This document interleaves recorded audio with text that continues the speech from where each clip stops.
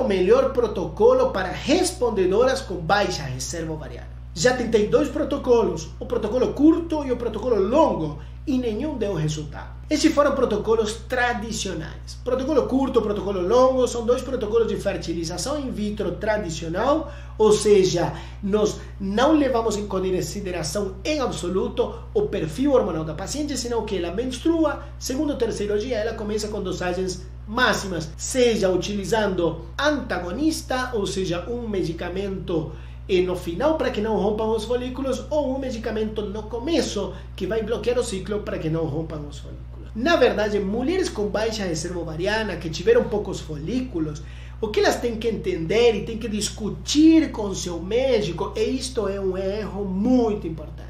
É um erro importante acreditar que se você tem baixa reserva ovariana, vai ser o protocolo A, B, C ou D ou X que vai fazer com que você volte a ter uma reserva ovariana normal. Infelizmente, se você tem baixa reserva ovariana, é o mais provável é que você não consiga ter aqueles 15 folículos com 10 a 15 óvulos de uma mulher que tem uma reserva ovariana normal.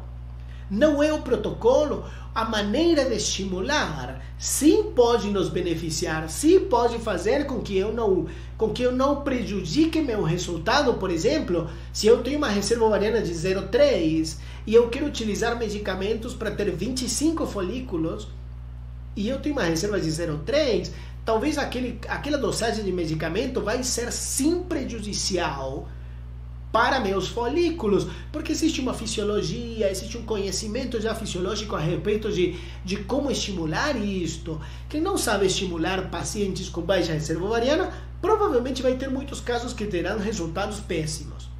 Por quê?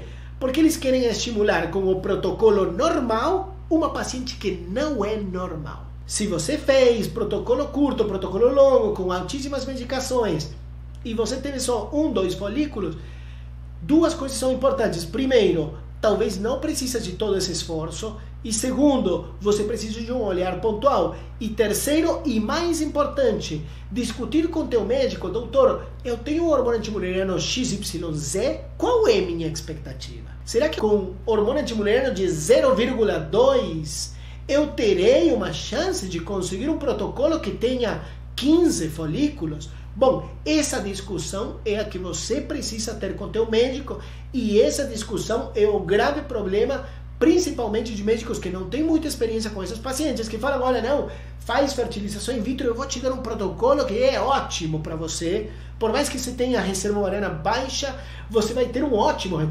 Não é uma realidade. Nós temos que entender que cada paciente tem sua qualidade característica e temos que personalizar para ela.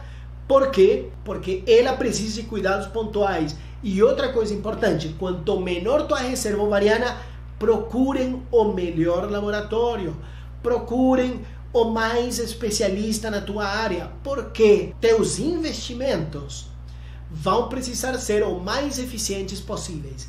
E se eu estou num laboratório de baixa qualidade, onde eu vou jogar minha sorte com um protocolo que talvez vai me dar sorte e não tem um bom laboratório, eu posso prejudicar primeiro o resultado ou o investimento em medicamentos ou investimento no médico e meus embriões talvez nem vão crescer num laboratório que não tem qualidade.